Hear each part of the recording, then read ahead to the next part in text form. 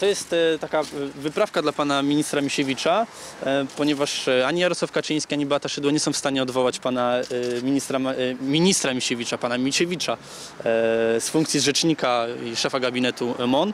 Apelujemy dziś do niego, by odwołał się sam, podjął męską decyzję. Medal chowamy za zasługi dla obronności kraju. Chowamy również salutujących żołnierzy dla pana Misiewicza.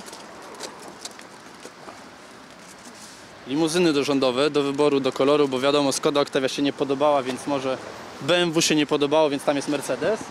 Konstytucja dla każdego studenta prawa normalnego. No, Kubek imprezowicza. No to każdy dobry imprezowicz. No i oczywiście wazelina na pewno się przyda, bo to na chłód. Właśnie chowam. Wykonuję pańskie polecenie. Kakao. Oraz żołnierze, nad którymi pan Misiewicz będzie mógł mieć pełną kontrolę.